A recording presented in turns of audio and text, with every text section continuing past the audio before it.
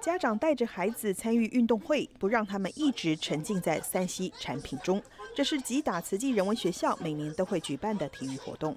孩子们除了每天可以常常在用三 C 产品之外呢，也可以透过很多的一个户外活动，让他们可以说跟父母来互动，然后也可以晒晒太阳啊，然后就是说出出汗哈，让他们的生活比较有乐趣。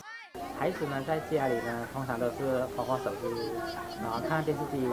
但是今天就不一样，今天他们可以在这边可以呃体验一下这个户外的活动。这次的游戏项目，老师们还有特别安排，大家一起体验非洲妇女头顶重物的难度，还有四十多个人如何共用一杯豆子的午餐故事。有的小孩腿比很短，然后他们很可怜。嗯，比非洲的小，我们比非洲的小孩还幸福。主要非洲小孩做比极可怜，所以我们要帮助他，要感恩，要要有感恩的心，慈善的心。